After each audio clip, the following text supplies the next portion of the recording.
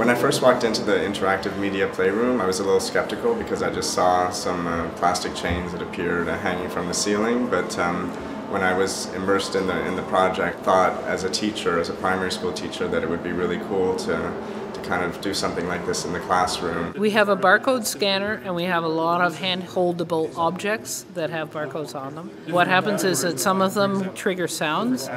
The blue ones trigger still images and the green ones trigger a silent video clip. People can place them according to how they see the whatever sound image or sound combination they have. I thought it was really interesting because I, I'm really into classical music and Mozart, uh, and so I don't normally listen to anything except piano and symphonies. Uh, so it's interesting to think about sounds uh, out in the, the world or, or played on an instrument that I no wouldn't normally listen to and then try to classify them.